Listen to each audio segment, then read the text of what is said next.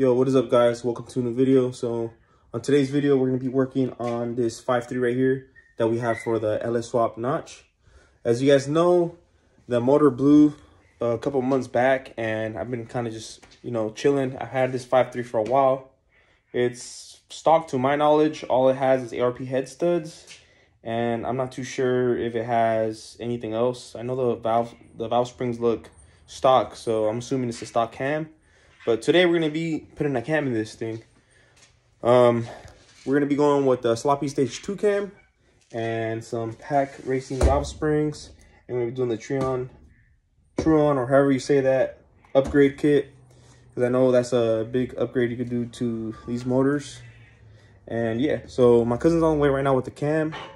I left it at my dad's house, so he's picking that up right now. And yeah, sounds like, is that him? Nah, that's not his car.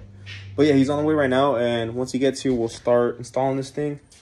He has done, I believe, two of them. I've never done a cam swap on a V8, so he's gonna come over here and show us. And he says it's pretty easy, so it should be pretty straightforward. But yeah, guys, I'm glad we're finally getting some work done and hopefully get this engine thrown in there and hopefully make some cool power. But now that's him. So let's open up the garage. For the YouTubers, boy. My boy in the Beamer. We had to go get another pulley, puller, because AutoZone is fucking dumb. But damn, my boy saucy, even though he got soda cans on the floor and shit. Red Bulls.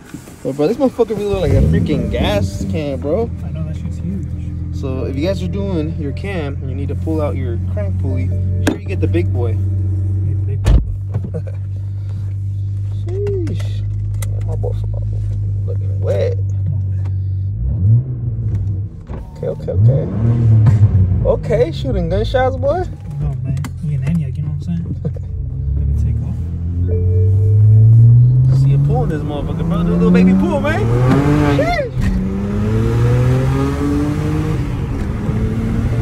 Sheesh, sheesh. Sounds like a freaking spaceship to the left, boy. Alright, right? Yeah. Sheesh.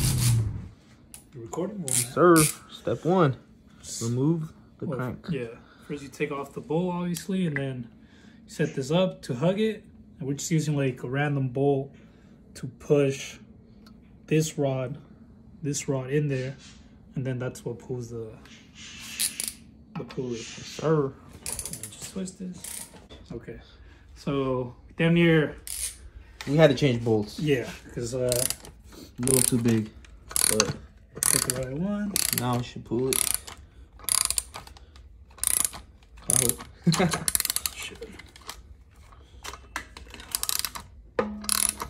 Yeah, it's pulling it right. yeah, it's coming out. There you go. Be careful doing this because you could fuck up your crank you don't know what you're doing. Yeah, you could. Let's see if. Shit don't fall on my foot.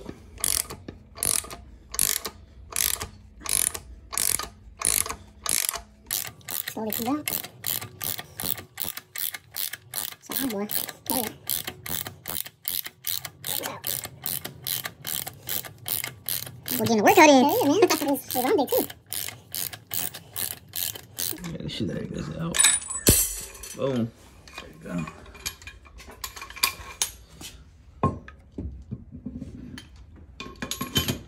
So oil- oil would have technically started coming out, right? Or no?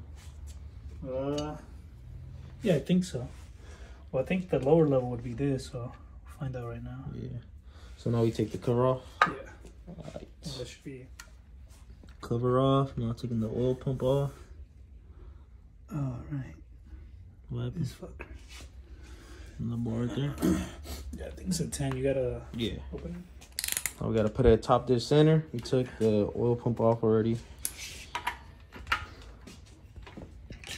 Probably already was or what? Yeah, but I think it was on the wrong stroke because the the cam gear and the crank gear, they have a You have to match yeah. up. You have to align. it. There we go.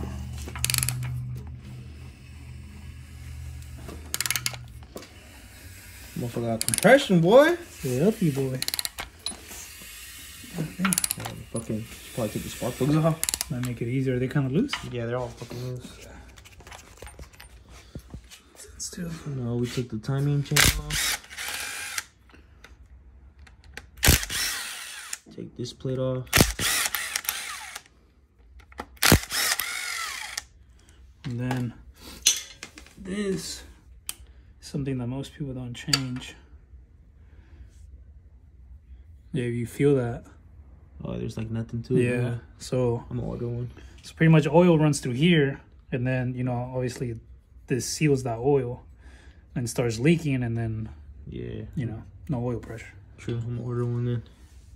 And then uh, just to record. Yeah. So now we're gonna loosen up the rockers, and that'll free up the cam, and we'll take out the cam. One valve cover. We're gonna take the other valve cover off. And yeah Alright, so we're about to loosen all the rockers.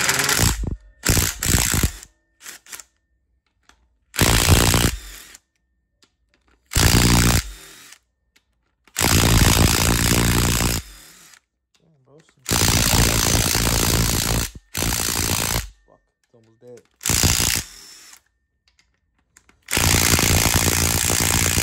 Come on, boy.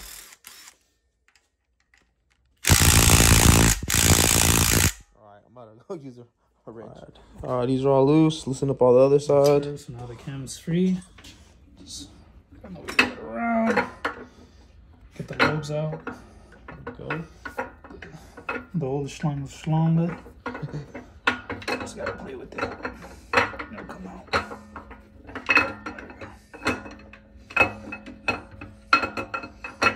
It's a long one. Yes, sir. Stop. Stock cam. Stock cam. But, I don't know why this had ARP head studs, but I mean, the cam looks healthy though. No, yeah, no majors. no Scoring. scarring, nothing. Scarring or scoring, boy? it's like Both. true, true, true. Looks good. So I'm gonna prep the other one. Yeah, move it up. Gotta lube it up, boy. He knows how to do that. Move the shift. Come on, man. Come on, man. All right, let's pull it out. All right, guys. So this is the specs on the cam. So this is considered a sloppy stage two cam. Um, it does have a different type of names too. There's another name for it, but it's known as a sloppy stage two. Um, yeah. So this is right here. So we're gonna get this bad boy out, and we're gonna be using some assembly lube to lube it up. Yeah, always lube it up. Yeah, you never want to go and dry, fellas. So let's lube it up, lube it up. You know, you want to put the lube in the hand. Yeah. You should probably wear gloves for this, but yeah, you should. AutoZone had like fifty dollar gloves. I was not trying to buy, so you, know, you want to just, you know, you want to just get your shaft nice Uh-huh. and lubed. yeah, that's a nice shot. yeah, I already can see all the heads talking shit in the comments. how how not to lube your cam? Right? You know, you have that one guy's like, it's because he didn't wash his hands, and there's gonna be material in his It's gonna be hand. Contaminated. Contaminate the cam. Hey, cut- that probably is a thing too. I ain't gonna I'm lie. sure. Whatever. Damn, that thing's sticky. Do you think it needs more or no? No, I think it should be good. All right, so Make sure you get the top, get the tip, get everything. Oh, oh shit, I got you, boy. yeah, that's good. Alright. So now, too? yeah. We get these bolts out so we can drive it in there.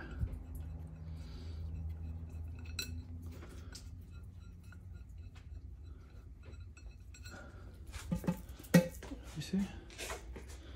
Just put these bolts and they'll help you stick it in at the end. Just for leverage. Same thing when I took it out. Yes, sir. Uh, no, just get it in there. And then it's the same thing as taking it out. You just kind of got to guide it and work it. you feel like it hit something, just kind of turn it. Then it'll slowly go in there. There you go, boy.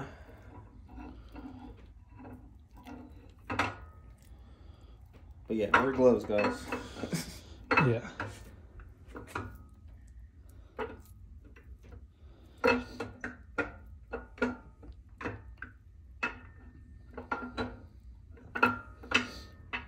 All the way in. There you go. Mm. I was done, boy. So now that that's in, we can You can wash your hand now. Yep. Or take your gloves off. take the rockers off completely and and change the valve springs. Yeah, so we'll show you guys right now the valve springs. Let me just clean my hands. Yes, sir. All right, guys, what is up? It's been a week since those last clips. Uh, we ended up messing up the tool that we used that we had ordered, so we tried to weld it. I mean, it, yeah, it was bad. We we broke it. We stripped it, so we order. I ordered a new tool. My cousin's not here right now, but uh, I'm gonna be doing the spring install myself.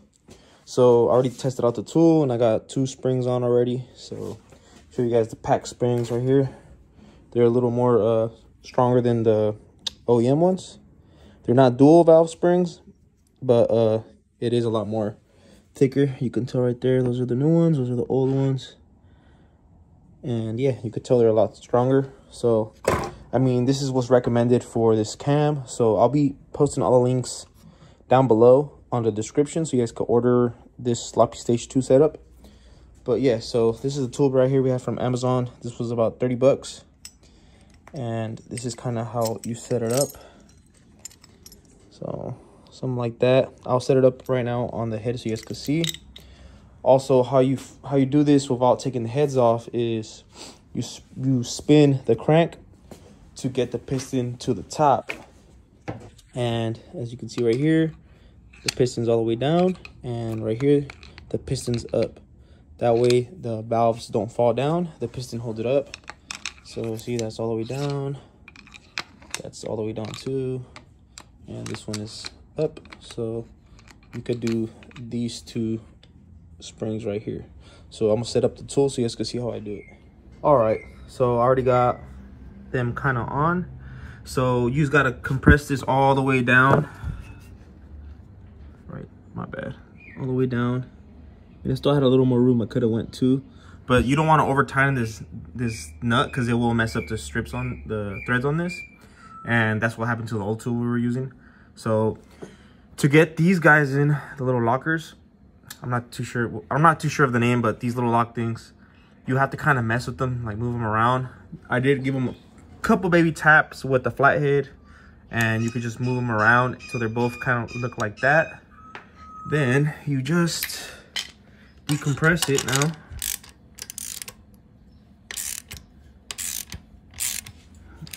Both sides are good. Decompress it.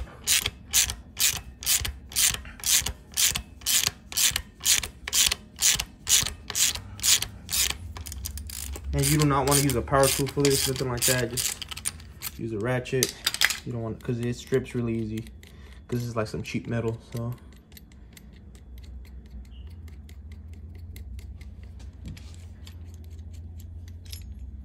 There you go, on there.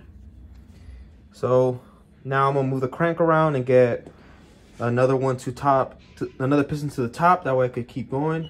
And you just wanna do all the valves, I mean all the springs till you're done. And yeah, so I think I'm gonna end the video here. I did order the that cam gasket my cousin was showing and I had got it but it's a it was flat right? I ended up getting one of these packages from Amazon. It was flat and I think I threw it away. I thought it was empty. So I'm gonna go look at my I'm gonna go look inside the house and see if it's in there. If not I'm gonna have to order a new one. It was like 20 bucks but that's my fault. I don't know why I didn't bother to open it. I just was like oh they sent a freaking empty one. I thought someone had already opened it. But anyways yeah about to put the rest of the valves on. The valve springs on and then uh, slap everything back on the top. That way I can seal back the valve covers. Then might order an oil pump. I'm not too sure if I'm gonna use a stock oil pump or if I should order a new one. I might order a new one. Then we'll be getting the car inside the garage to start taking the motor out I do have to put the motor mounts on this and the oil pan that's currently in the LS1 and yeah hopefully get this Mustang back up and going and with a nice little chop We'll see how much power we could get out the sloppy 2 on a stock 5.3. But yeah, guys, till the next one.